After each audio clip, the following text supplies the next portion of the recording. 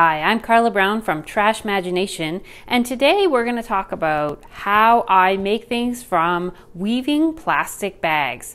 And you can see I'm going to start with some of the things I have already made from plastic bags so you can get an idea of how it works. So these three uh, mats, you can see they roll out like this into a mat, a rectangle. Uh, they are all made from different types of plastic bags. So this first one was made with all different colors of plastic bags, bread bags, all different colorful bags. And then this one was made all with only brown, black, and white plastic bags. And then this one was made with only transparent plastic bags. So you can see actually it kind of looks like it ends up being white after you weave them. Now my technique for weaving plastic bags, the first thing I do is I actually braid the plastic bags. So I'm gonna hold this so you can sort of see. You can tell here I've woven a braid that is made out of one brown loop, one black loop, and one white loop. So that's what makes the specific look of my woven plastic bags.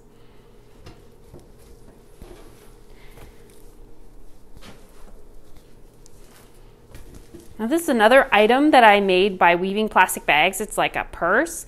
And, this was one of the very first things I made. So you can see the warp is more squiggly because I learned um, not to put quite so many warp threads in order, when you put too many, it gets kind of messy looking like this. But anyways, I was learning. And this was actually like one long mat that is just folded and then with a piece over the top for the top of the bag. And then the handle of the purse is made out of a recycled Taekwondo belt. Now this is a basket, a storage basket that I made from weaving plastic bags. The way it starts is it's a one big long mat that I then form into the shape of a U. And then I make the sides out of these juice pouches. And inside to give it form, I've put um, some pieces of wood from clementine boxes. And then I put um, fabric around the top to serve as a trim. So that is a storage basket I made from woven plastic bags. Now this last project is probably the most unusual one so I wanted to try to imitate tree bark, um, and I made really long, skinny pieces. Um, these are all about 15 feet long, and I wanted to go for uh, white, just like what you might find on a birch tree, and I wanted to go for gray, kind of like what you'd find on a cherry tree, and then brown like you'd find on a maple tree and then I interspersed little bits of white and brown and gray in all of them because when you look at tree bark usually it has this sort of mottly effect um, so you can see these roll out and they're really, really long. But I, I really was pleased with the effect. I do feel like it looks a bit like tree bark. And this was in, these were in an exhibit um, that they were hanging from a really high ceiling, and so they looked like trees inside a building. So next I'm going to talk about the materials that I use when I'm weaving plastic bags. The most common materials that I use are something like this. Uh, they look like newspaper bags or uh, flyer bags, or this one's like a grocery bag. And uh, these are my favorite to use in terms of the ease of use in terms of making a nice flat weave. Um, but as you can see, they're not always in the most exciting colors. So sometimes I have to go elsewhere to get more colorful bags. Uh, and you can see when you pick up these bags and you crinkle them, they make slightly different sounds. So this one is a very smooth plastic, very easy to cut and weave and same with this one, but then this one has a different sound. It's a louder sound and it's going to make a more crinkly, uh, uh, it's going to be a little bit different to weave, but it's very similar and they're all equally good.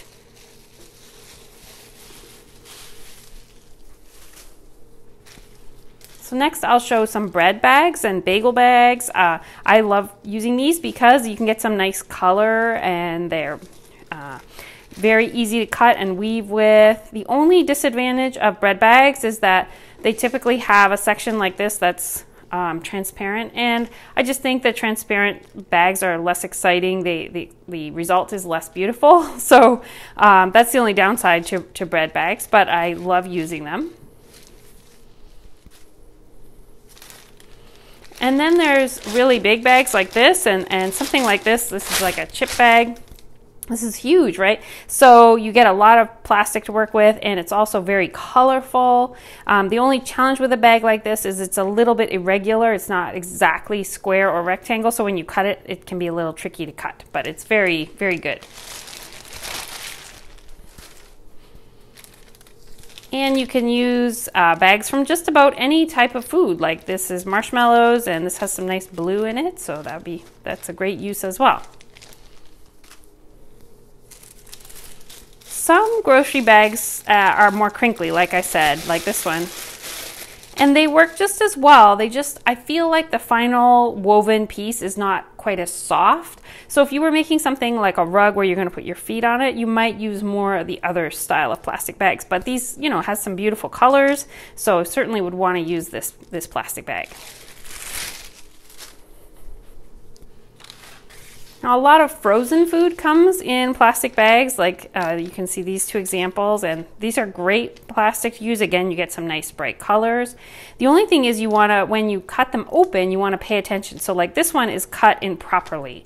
And the reason why is because these two sides with the seams, they are not going to be easy to weave. And because it was cut open um, along what was I guess in theory the top of this bag, um, it means that this the loops have all these seams in it. So just be careful to not cut it this way and try to cut off, instead try to cut off the one end that has a seam and then you'll get these nice loops uh, instead.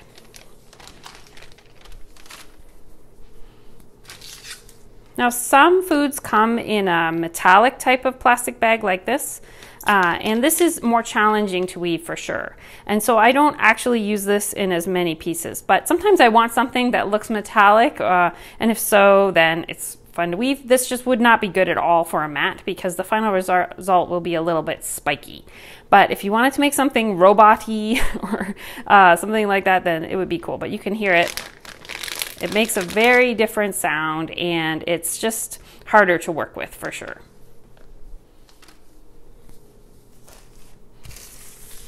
Now, one type of plastic bag you might not think about, uh, sometimes uh, toilet paper tissue comes wrapped in a plastic bag. Sometimes it's wrapped in paper, which is better, of course.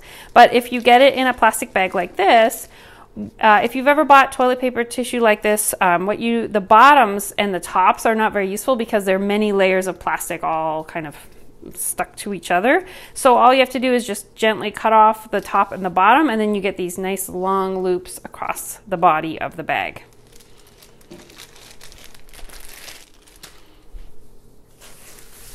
And finally, a really fantastic source of plastic for weaving are these supposedly disposable tablecloths.